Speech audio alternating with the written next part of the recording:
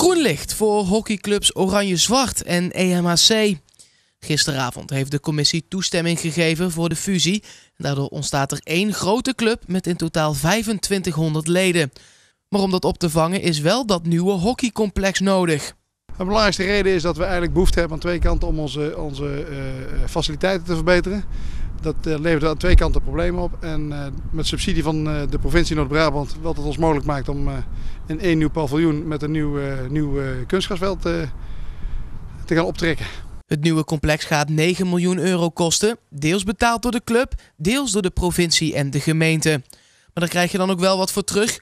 Een tribune voor 8000 toeschouwers, drie trainingsvelden en een waterkunstgrasveld.